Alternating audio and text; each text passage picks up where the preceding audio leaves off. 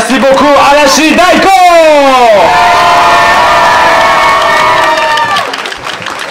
And now, I would like to ask all the executive members of Matsuri to be here in the backstage area. We're doing the closing ceremony. Yes, we're a bit late, we're sorry.